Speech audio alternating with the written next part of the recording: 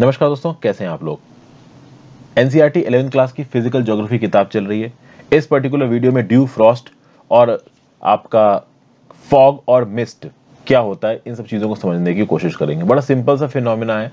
कुल मिला के कंडेंसेशन यानी कि वाटर वेपर का वाटर ड्रॉपलेट्स में पहुँचना और कंडेंसेशन के बाद प्रेसिपिटेशन अभी प्रेसिपिटेशन वाला कंसेप्ट तो देखिए रेनफॉल में आएगा।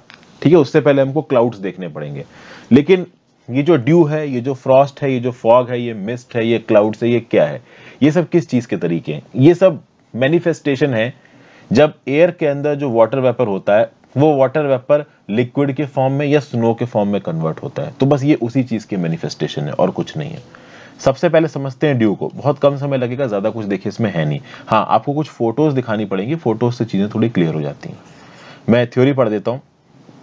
When the moisture is deposited in the form of water droplets on cooler surfaces of solid objects rather than nuclei in air above the surface such as stones grass blades and plate, uh, plant leaves it is known as dew the ideal conditions for its formation are clean sky calm air high relative humidity and cold and long nights for the formation of dew it is necessary that the dew point is above the freezing point क्या बोला जा रहा है एक एक line समझाता हूँ भाई देखिए जब हवा के अंदर मॉइस्चर है। वो मॉइस्चर मतलब वाटर वेपर पानी में बदल जाए बट वो पानी में बदल के हवा में ना टंगे। एक चीज़ होती है, हवा में तैरते रहना। तो हवा में तैरते रहने का एक एग्ज़ाम्पल आपका क्लाउड है। फॉग मिस्ट यहाँ पे भी जो वाटर ड्रॉपलेट्स हैं, वो हवा में तैर रही हैं। वो कैसे तैर रही हैं, वो मैं फॉग मिस्ट में अभी आपको बताऊँगा। लेकिन ड्यू में क्या हो रहा है? ड्यू में भाई, किसी एक पर्टिकुलर सरफेस के ऊपर बैठ गई है आपका ड्यू जैसे फॉर एग्ज़ाम्पल अगर आप यहाँ पे इस पर्टिकुलर फ़ोटो को देखें तो यहाँ पे आपको ग्रास दिख रही है। ठीक है ना? अब इस ग्रास की पत्तियों पे आपको पानी की ड्रॉपलेट्स नज़र आ रही हैं। ये क्या है? ड्यू है। तो ये पानी की ड्रॉपलेट्स पहले कहाँ थी? ये मॉइस्चर के फॉर्म में थी हवा के अंदर। लेकिन जब हवा ने मॉइस्चर छोड़ दिया तो ये इस घास की पत्तियों के ऊपर सेटल हो गई। इसको क्या आपने बोला? इसको आपने बोला dew. Same goes for this image. इसमें भी आपको नज़र आ रहा है कि एक प्लांट की पत्तियों के ऊपर यहाँ पे आपको पानी की ड्रॉपलेट्स नज़र आ रही हैं। ये क्या है? ये एक्चुअली में आपकी ड्यू है। समझ गए? तो यही है। When a moisture is deposited in the form of water droplets on cooler surface of solid objects, जिसमें से एक प्लांट लीव्स है तो प्लांट लीव के ऊपर ही बैठ सकती है, जो पत्थर वगैरह रॉक्स वगैरह पड़े रहते हैं स्टोन्स उनके ऊपर ही बैठ सकती है ग्रास ब्लेड्स के ऊपर भी बैठ सकती है। ग्रास ब्लेड्स आप समझ सकते हो एज हो गई आपकी एक प्लांट की या पत्ती की। तो इन सब चीज़ों के ऊपर ये जो वाटर ड्रॉपलेट्स हैं, ये बैठ जाती हैं। ओके तो ये आपकी बन गई ड्यू मतलब किसी एक पर्टिकुलर सरफेस पे बन रही है ड्यू ठीक है भाई? तो आपको ये तो सिंपल समझ में आ गया कि हवा के अंदर जो मॉइस्चर था, वो मॉइस्चर पानी में कन्वर्ट हो गया। किसी पर्टिकुलर सरफेस के ऊपर कन्वर्ट हुआ तो बन गई आपकी ड्यू आइडियल कंडीशन क्या है ड्यू बनने की? तो सबसे पहली आइडियल कंडीशन है क्लियर स्काई और काम एयर देखिए, हवा ना चल रही हो। हवा एकदम शांत हो। हवा नहीं चल रही होनी चाहिए, ये एक आइडियल कंडीशन है। स्काई एकदम क्लियर हो। बिल्कुल क्लियर स्काई हो। तो आप कह सकते हो कि भाई ड्यू बनेगी। हाई रिलेटिव ह्यूमिडिटी अब देखिए हाई रिलेटिव ह्यूमिडिटी तो बट ऑब्वियस है। क्यों? क्योंकि रिलेटिव ह्यूमिडिटी हाई होगी मतलब कि उस पर्टिकुलर हवा की मॉइस्चर पकड़ने की जो ताकत है, वो कम है। जितनी ज़्यादा ऑलरेडी ह्यूमिडिटी है, उतनी ही और मॉइस्चर पकड़ने की ताकत उस हवा के अंदर कम है। तो और मॉइस्चर दोगे तो कभी ना कभी वो पानी छोड़ देगी। और नेक्स्ट है कोल्ड एंड लॉन्ग नाइट्स कि भाई रात हुई तो रात में टेम्परेचर काफ़ी गिर गया। अब जब रात में टेम्परेचर गिर गया तो आपको पता है कि टेम्परेचर के साथ हवा की जो मॉइस्चर पकड़ने की ताकत होती है, वो बढ़ती है। अब जब हवा का टेम्परेचर ही गिर गया तो जब हवा का टेम्परेचर गिर जाएगा तो जो ड्यू पॉइंट होता है ना, उस पर्टिकुलर टेम्परेचर पे जो सैचुरेशन की लिमिट होती है ना, वो जल्दी आ जाती है हवा की तो वो पानी छोड़ने लगती है। तो ये सब मैकेनिज्म है आपका ड्यू बनने का। ओके अच्छा ड्यू बनने का जो सबसे बड़ी कंडीशन है, वो ये है कि it is necessary that the dew point is above the freezing point freezing point क्या है? तो भाई पानी का तो ज़ीरो डिग्री सेंटीग्रेड या ज़ीरो डिग्री सेंटीग्रेड से नीचे चले जाओ माइनस एक माइनस दो माइनस तीन पे तो वहाँ बर्फ़ जम जाती है। तो भाई अगर आप फ्रीजिंग पॉइंट पे ऊपर हो, ठीक है ना? तो फ्रीजिंग पॉइंट पे ऊपर हो तो जब आपकी हवा मॉइस्चर छोड़ेगी तो सीधे बर्फ़ नहीं बनेगा सब्लिमेशन सीधे सीधे नहीं होगा। पहले वो पानी बनेगा। अब देखिए ज़ीरो डिग्री हो गया। तो आपको पता है कि एक बार दस पंद्रह साल पहले की बात है, लखनऊ में ज़ीरो डिग्री टेम्परेचर हो गया था तो मतलब नलों में पानी तक जम गया था। मतलब कि ज़ीरो डिग्री टेम्परेचर पे उससे थोड़ा सा भी नीचे गए तो पानी पूरा जम जाएगा, बर्फ़ बन जाएगा। ठीक है? तो अब फ्रीजिंग पॉइंट के ऊपर तो आपको होना पड़ेगा ना, क्योंकि ड्यू में वाटर ड्रॉपलेट्स बन रही हैं। अभी एटमॉस्फेयर में वाटर ड्रॉपलेट्स तो तब बनेगी ना जब वाटर ड्रॉपलेट बनने रहा है। कंडीशन अभी कंडीशन अगर निगेटिव है, सब फ्रीजिंग टेम्परेचर है ज़ीरो डिग्री सेंटीग्रेड या माइनस वन या उससे नीचे चला गया टेम्परेचर तो तो सीधे बर्फ़ बन जाएगी। स्नो बन जाएगी आइस बन जाएगी। इसीलिए यहाँ पे लिखा हुआ है कि फ्रीजिंग पॉइंट के ऊपर होना चाहिए टेम्परेचर अगर आपको ड्यू बनानी है। क्योंकि टेम्परेचर फ्रीजिंग पॉइंट के नीचे चला गया, तब क्या बनेगा? तब फ्रॉस्ट बनेगा। अब देखते हैं फ्रॉस्ट क्या होता है। फ्रॉस्ट बनता है कोल्ड सर्फेसिस पे। When condensation takes place below freezing point zero degree centigrade तो भाई, जब हवा ने अपना मॉइस्चर छोड़ा फ्रीजिंग पॉइंट के ऊपर, तब बनी ड्यू और जब हवा ने अपना मॉइस्चर छोड़ा फ्रीजिंग पॉइंट के नीचे, तब बना फ्रॉस्ट अभी देखिए फ्रीजिंग पॉइंट के ऊपर आपका फॉग और मिस्ट भी बनता है, उस पर हम थोड़ी देर में आ रहे हैं। लेकिन फॉग और मिस्ट जब बनता है, वहाँ पे सरफेस कुछ और होती है ड्यू में सरफेस कुछ और थी। लेकिन जब आप फ्रीजिंग पॉइंट के नीचे पहुँच जाते हो तो जब आप फ्रीजिंग पॉइंट के नीचे पहुंचोगे, तब आपका बनेगा क्या? फ्रॉस्ट मतलब बिल्कुल ठंडा, एकदम बर्फ़। जैसे फॉर एग्ज़ाम्पल आप इस पर्टिकुलर जगह को देखो। अब यहाँ पे सब फ्रीजिंग टेम्परेचर है। ऑलरेडी बर्फ़ जमी हुई है। यहाँ पे भी कुछ हवा बह रही होगी। और यहाँ पे, अब आप चले जाओ, यहाँ से काम करो फ़्लाइट पकड़ो और जाओ आप, ये, नूर सुल्तान एयरपोर्ट जो आपका कजाकिस्तान की कैपिटल है। या फिर आप अलमाटी चले जाओ, आपके एक शहर है कजाकिस्तान। जब आप वहाँ पहुंचोगे तो दिसंबर दिसंबर के समय पे जाओगे तो बिल्कुल, जब मैं गया था माइनस आठ डिग्री टेम्परेचर था वहाँ पे माइनस एट डिग्री अब उस पर्टिकुलर टेम्परेचर पे सब फ्रीजिंग टेम्परेचर है, ठीक है, सब कुछ बर्फ़ है। हवा चल रही होगी, हवा तो वहाँ पे भी चल रही है ना, बिल्कुल आईसी विंड्स चलती है, ऐसा बर्फ़ का थपड़ा लगेगा, ऐसा लगेगा जम गए। अब उस हवा के अंदर भी मॉइस्चर होता है, ये याद रखिएगा, उस हवा के अंदर भी मॉइस्चर होता है, उस हवा का भी अपना ड्यू पॉइंट आता है। और जब वो हवा अपना मॉइस्चर छोड़ेगी तो वो पानी के फॉर्म में नहीं छोड़ेगी, वो सीधे फ्रॉस्ट सीधे बर्फ़ के फॉर्म में छोड़ेगी। बस यही फ़र्क है। तो फ्रॉस्ट मतलब कि मॉइस्चर छूटा, पानी छूटा हवा से तो वो सीधे आपका सब ज़ीरो, सब फ्रीजिंग टेम्परेचर में छूटा तो सीधे बर्फ़ में कन्वर्ट होगा ना तो वो एकदम बर्फ़ में कन्वर्ट हो गया। ठीक है? तो इसको आप बोलते हो फ्रॉस्ट गॉट इट तो यहाँ पे पेड़ों के ऊपर आपको ये जो हवा बह रही होगी, वो जब अपना मॉइस्चर छोड़ रही होगी तो वो आइस या स्नो के फॉर्म में इस पेड़ के ऊपर जमा हो जाएगा। तो दैट विल बिकम फ्रॉस्ट ये क्या बोला था? ड्यू पॉइंट इज़ एट और बिलो द फ्रीजिंग पॉइंट मतलब ड्यू पॉइंट फ्रीजिंग पॉइंट के बिलो है मतलब हवा सब फ्रीजिंग टेम्परेचर पे बह रही है, लेकिन अब तक उसने अपना मॉइस्चर नहीं छोड़ा है। लेकिन जब फ्रीजिंग टेम्परेचर पे वो अपना मॉइस्चर छोड़ेगी तो वो जो आपकी मॉइस्चर छूटेगा, वो बर्फ़ के फॉर्म में छूटेगा। फिर देखिए क्या लिखा हुआ है। The excess moisture is deposited in the form of minute ice crystals instead of water droplets तो बस सिंपल है फ्रॉस्ट में ज़्यादा कुछ देखिए बचाने के लिए नहीं है। जब ड्यू पॉइंट आपका पहुँचा फ्रीजिंग पॉइंट के नीचे, तब आपका बन गया फ्रॉस्ट नेक्स्ट बात करते हैं किसकी? फॉग की और मिस्ट की। What is fog and mist तो इसकी भी थ्योरी पढ़ते हैं। When the temperature of an air mass containing a large quantity of water vapour falls all of a sudden condensation takes place within itself on fine dust particles तो भाई, एक बहुत बड़ा एयर मास है air का parcel है। अब उस एयर का पार्सल का टेम्परेचर एकदम से गिरा? जब उस एयर के पार्सल का टेम्परेचर एकदम से गिरा तो उसमें एकदम से आप देखोगे कि कंडेंसेशन होगा। अब ये जो कंडेंसेशन होगा, ये ऊंचाई वाला कंडेंसेशन नहीं है। जिस प्रोसेस के थ्रू क्लाउड्स बन रहे थे, वो वाला कंडेंसेशन नहीं है। या फिर मैंने जो पहले से आपको फिनोमना समझाता हो रहा हूँ कि ये पहाड़ है, यहाँ पे आके विंड स्ट्राइक कर रही है, ठीक है? तो हवा ऊपर उठी ऊपर उठी हो यहाँ पे क्लाउड्स के फॉर्म में कन्वर्ट हो गई। ये वाला कंडेंसेशन नहीं है।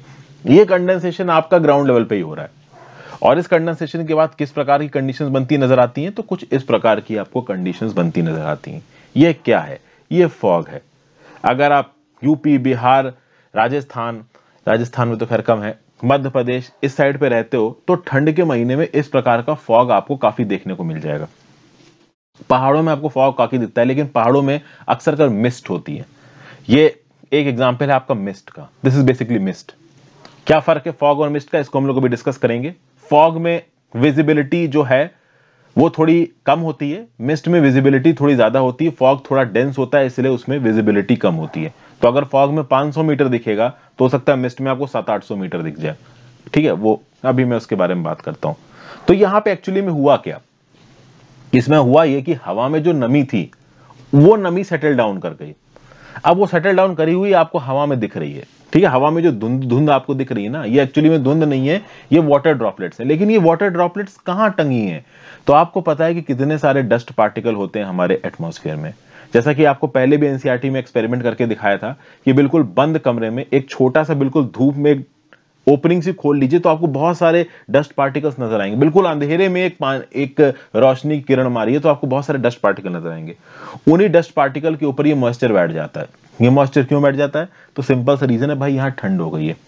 या फिर टेम्परेचर गिर गया ठंड तो मत बोलिए टेम्परेचर गिर गया अब ठंडी के समय पर फॉग हो गया, इसलिए हम लोग ठंड बोलते हैं। फॉग तो ऐसा फिनोमिना है कि नॉर्थ इंडियन बेल्ट में वो ठंड में ही दिखता है। ठीक है? तो ठंड के समय पे क्या हुआ कि जो एयर में मॉइस्चर था, वो मॉइस्चर वाटर ड्रॉपलेट्स मतलब वो जो मॉइस्चर था, वो वाटर ड्रॉपलेट्स के फॉर्म में डस्ट पार्टिकल के ऊपर चिपक गया। अब डस्ट पार्टिकल के ऊपर वो इतने माइन्यूट फॉर्म में चिपका कि आपको कुछ इस प्रकार से नज़र आ रहा है। एक्चुअली फॉग और मिस्ट दोनों एक ही प्रकार से बनते हैं। यहाँ पे आपको फॉग नज़र आ रहा है और यहाँ पे आपको मिस्ट नज़र आ रही है। इसमें ज़्यादा फ़र्क आपको नज़र नहीं आएगा। फॉग ज़्यादा डेंस होता है। तो फॉग में विजिबिलिटी कम होती है। मिस्ट थोड़ी कम डेंस होती है, मिस्ट में विजिबिलिटी ज़्यादा होती है।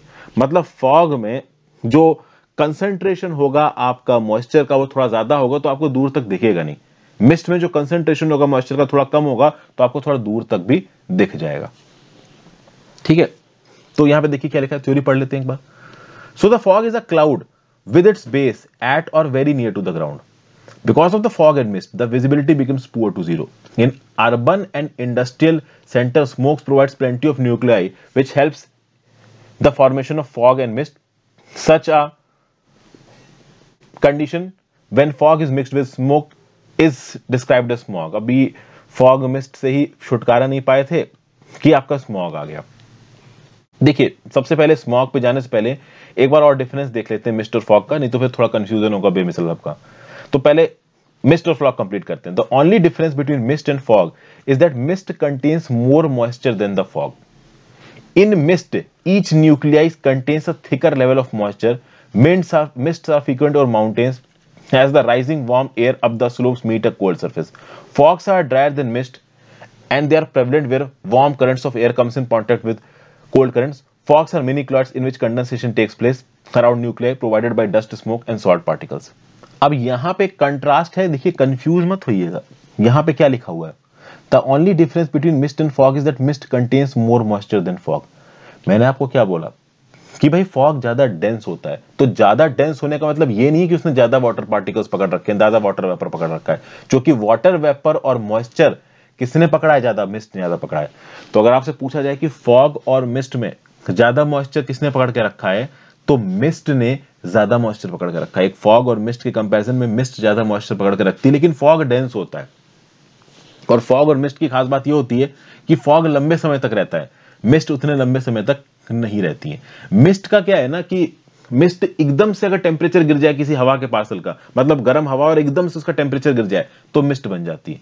इसीलिए आप देखोगे कि मिस्ट माउंटेन्स के ऊपर बहुत बनती है। क्योंकि माउंटेन्स में हवा का टेम्परेचर एकदम से गिरता है। जो राइजिंग वार्म एयर है, वो कभी कभी किसी कोल्ड पहाड़ी की सतह के साथ जैसे टकराएगी तो उस वार्म एयर का एकदम से टेम्परेचर नीचे गिरेगा तो वो मिस्ट में कन्वर्ट हो जाएगी। याद रखिएगा मिस्ट मॉइस्चर ज़्यादा रखती है फॉग से, लेकिन डेंस फॉग ज़्यादा होता है। फॉग में विजिबिलिटी कम होती है, अगर आपको फॉग में आधा किलोमीटर दूर दिख रहा है तो मिस्ट में आपको आधा किलोमीटर से ज़्यादा दूर तक दिखेगा 700-800 मीटर एक किलोमीटर तक दिख सकता है। मतलब मिस्ट में आप ज़्यादा दूर तक देख पाओगे फॉग में आप ज़्यादा दूर तक नहीं देख पाओगे। फॉग ज़्यादा डेंस होता है, लेकिन मॉइस्चर पानी मिस्ट में ज़्यादा होता है। ठीक है भाई, कुछ चीज़ें यहाँ पे क्लियर हो गई। फिर मिस्ट के बारे में क्या बताया गया कि mist are frequent over mountains mountains के ऊपर मिस्ट फ्रीक्वेंट है। जो फॉग्स है they are drier than mist and they are prevalent where warm currents of air come in contact with cold currents तो भाई वार्म करंट ऑफ़ एयर और cold current of air जब touch में आया तब बनता है आपका फॉग फॉग एक प्रकार का मिनी क्लाउड है, जिसमें डस्ट पार्टिकल के ऊपर आपका कंडेंसेशन हुआ है। डस्ट पार्टिकल कभी कभी समुंदर के ऊपर जब फॉग बनेगा तो सॉल्ट पार्टिकल आपको पता है कि समुंदर सॉल्ट वाटर है तो सॉल्ट पार्टिकल उसके समुंदर के ऊपर वाले सरफेस पे आपको मिलेंगे। तो उन सॉल्ट पार्टिकल्स के ऊपर भी कभी कभी कंडेंसेशन हो जाता है तो समुंदर के ऊपर भी आपको फॉग दिख सकता है मिस्ट दिख सकती है। कभी कभी ओके ना, फ़िल्मों में भी ये सब चीज़ें दिखाई जाती हैं। ओवरऑल अब आप समझ गए होंगे कि फॉग और मिस्ट के बीच में क्या फ़र्क है। फॉग ज़्यादा डेंस है मिस्ट कम डेंस है फॉग में विजिबिलिटी कम है मिस्ट में विजिबिलिटी ज़्यादा है मिस्ट में मॉइस्चर ज़्यादा है फॉग में मॉइस्चर कम है। मिस्ट एकदम से बनती है मतलब पहाड़ों में ज़्यादा बनती तो एकदम से हवा का टेम्परेचर बिल्कुल ही गिर जाए तो भाई आपका मिस्ट बन जाती है। मिस्ट ज़्यादा लंबे समय तक नहीं टिकती है फॉग थोड़े लंबे समय तक टिक जाते हैं, ठीक है? फॉग कब बनते हैं? जब गर्म पार्सल एयर का एक ठंडे पार्सल ऑफ़ एयर से मिलेगा, तब आपका फॉग बनेगा। मिस्ट कब बनेगी? तो ज़्यादातर माउंटेन्स में क्या होता है कि एकदम से आपकी हवा, गर्म हवा ऊपर की तरफ़ उठ रही है और एकदम से किसी ठंडी सतह के आने से बिल्कुल ही ठंडी हो गई तो वहाँ पे मिस्ट बन जाती है। तो अब फॉग मिस्ट हमने देख लिया, इनके डिफरेंसेस को समझा। अब समझने की कोशिश करते हैं कि भाई स्मॉग क्या है। तो स्मॉग का बहुत सिंपल लॉजिक है। आप पर्टिकुलर इस फ़ोटो को देखो, आपको स्मॉग समझ में आ जाएगा। चाइना के शहर की एक फ़ोटो है ये। और आपको सब कुछ काला काला धुंधला धुंधला दिख रहा है। ये प्रॉपर दिन है, लेकिन इस दिन में भी आपको हल्का हल्का काले रंग की फीलिंग प्रतीत हो रही है। वो काले रंग की फीलिंग क्यों प्रतीत हो रही है? जो कि जो वाटर ड्रॉपलेट्स है ना, उन वाटर ड्रॉपलेट्स के ऊपर स्मोक बैठ गई है। आपको पता है कि हैविली इंडस्ट्रियलाइज सिटीज़ में, और चाइना में बहुत सी इंडस्ट्रियलाइज सिटीज़ है हैविली इनफैक्ट इंडिया में भी है। तो छत्तीस छत्तीसगढ़ चले जाओ, या फिर कहीं ऐसी जगह पे चले जाओ लोकलाइज लेवल पे, जहाँ पे कोई पावर प्लांट हो वो बहुत सारा गैसेस एमिशन कर रहा हो एनओ टू एसओ टू बहुत छोड़ रहा हो। तो वहाँ बहुत सारे स्मोक पार्टिकल होंगे। अब होता यह है कि आपको पता है कि कंडेंसेशन के लिए अगर ड्यू पॉइंट पे आ गई है हवा सेचुरेशन उसका हो गया है और वो मॉइस्चर छोड़ने को तैयार है तो मॉइस्चर छोड़ेगी या तो ड्यू के फॉर्म में छोड़ेगी, या अगर उसको सरफेस मिल जाए कोई एयर पे तो उस पर टंग जाएगी। तो या तो डस्ट पार्टिकल पे टंगेगी तो आपका फॉग मिस्ट बनेगी और अगर डस्ट पार्टिकल पे नहीं टंग पाती है और उसको स्मोक पार्टिकल मिल जाते हैं। अब ये डस्ट पार्टिकल भी एक प्रकार के वैसे तो हमारे बॉडी के थ्रू हमारे नॉस्ट्रल्स के थ्रू हर सेकंड लाखों के डस्ट पार्टिकल्स क्रॉस हो रहे हैं। जी हाँ ये बात बिल्कुल सही बट वो डस्ट पार्टिकल्स हमारे लिए खतरनाक नहीं है। ये सब डस्ट पार्टिकल्स तो हमारी इम्यूनिटी भी डील कर सकते हैं। बट इस डस्ट पार्टिकल में कोरोना वायरस चला जाए तो बात अलग है, वो अलग बात है। अब स्मोक की बात कर लो स्मोक में बहुत सारे पीएम 2.5 पीएम 10 पर्टिकुलेट मैटर होता है जो कि डेंजरस होता है, वो एक अलग चीज़ है। अब स्मोक के पार्टिकल के ऊपर अगर मॉइस्चर बैठ गया तो अब यहाँ पे आपको वो जो मॉइस्चर तैरता हुआ दिखेगा एटमॉस्फेयर में, वो काला होगा। और इस काले मॉइस्चर को आप स्मॉग बोलते हो। तो अगर हवा में ये वाटर ड्रॉपलेट्स टंगी हुई मिल जाती हैं, और ये वाटर ड्रॉपलेट्स तो देखो हवा में है ही ड्यू पॉइंट पे पहुँचा, और उसी पर्टिकुलर हवा में बहुत ज़्यादा स्मोक है। कोई बहुत ही इंडस्ट्रियलाइज इलाका है, पास का कोई पावर प्लांट है जो बहुत सारी स्मोक एमिट कर रहा है तो उस स्मोक के ऊपर टंग जाएगा, वो वाटर ड्रॉपलेट और काले रंग क्या आपको प्रतीत होगा, जैसा कि इस फ़ोटो में आपको प्रतीत हो रहा है। तो दिस इज़ बेसिकली स्मॉग कभी कभी तो स्मॉग इतना डेंजरस हो जाता है कि दिखना ही बंद हो जाता है। तो वो डिपेंड करता है कि कितना पॉल्यूशन लेवल है। तो दिन के समय पे भी आपको शाम या काला काला जैसा प्रतीत होने लगेगा, अगर स्मॉग है एटमोस्फेयर में। स्मॉग की कंडीशन क्या है? कि भाई किसी पर्टिकुलर जगह पे बहुत ज़्यादा अगर पॉल्यूशन है स्मोक प्रेजेंट है, और उसी समय पे वहाँ टेम्परेचर गिर गया ड्यू पॉइंट पे पहुँच गया तो स्मॉग बन जाएगा आपका। स्मॉग ना होता तो शायद वहाँ पे फॉग बनता। लेकिन अब फॉग नहीं, अब स्मॉग बनेगा। मतलब कि ओवरऑल ये वाली जो पर्टिकुलर फ़ोटो है ना आपकी, ये वाली सॉरी ये नहीं, ये वाली, इसको काला कर दो तो आपका स्मॉग हो जाएगा। लेकिन अब ये तो बिल्कुल नेचुरल अच्छी सी जगह दिख रही है, यहाँ ज़्यादा पॉल्यूशन वॉल्यूशन नहीं होगा, अब तो खैर पहाड़ों में बहुत पॉल्यूशन पहुँच रहा है। पॉल्यूशन ज़्यादा कर दोगे किसी जगह पे तो वही जो फॉग है वो स्मॉग में बदल जाएगा। पॉल्यूशन कम है तो वो फॉग आपको सुहावना लगेगा, वही पॉल्यूशन हो गया तो वही स्मॉग आपके नाक में घुस घुस के आपके घर वालों को, बच्चों को फैमिली मेंबर्स को बीमार कर देगा। ठीक है? तो हमने फॉग के बारे में पढ़ा, स्मॉग के बारे में पढ़ा, मिस्ट के बारे में पढ़ा, ड्यू के बारे में पढ़ा, फ्रॉस्ट के बारे में पढ़ा। आई होप कॉन्सेप्ट क्लियर है। क्लाउड्स पे चलते हैं। और अगली वीडियो में टाइप्स ऑफ़ क्लाउड्स के बारे में आपको बताऊँगा। Thank you for watching friends I hope आपको चीज़ें समझ में आ रही हैं। अपने व्यू पॉइंट नीचे कमेंट बॉक्स में ज़रूर दीजिएगा। ज़्यादा से ज़्यादा लोग साथ इस वीडियोस को शेयर करें। बनाने में मेहनत लगती है तो आपका ये फ़र्ज़ बनता है कि आप वीडियोस को ज़्यादा से ज़्यादा लोगों तक तो पहुंचाओ। आपसे बस इतनी मदद की उम्मीद है। और कुछ करना चाहते हो तो ज्वाइन बटन दबा के आप चैनल के मेंबर भी बन सकते हो। डेली की बेसिस में मैं एडिटोरियल की वीडियोस में अपने मेंबर्स का नाम लेता हूँ। डेफिनेटली इतना तो मैं कर ही सकता हूँ। साथ साथ जब प्रिलिम्स का एग्ज़ाम हो जाएगा, उसका डेफिनेटली मैं अपने मेंबर्स के लिए कुछ और इनिशिएटिव लॉन्च करने की कोशिश करूँगा। Thank you for watching friends ज़्यादा से ज़्यादा लोग साथ वीडियो शेयर करिएगा। Take care have a great day goodbye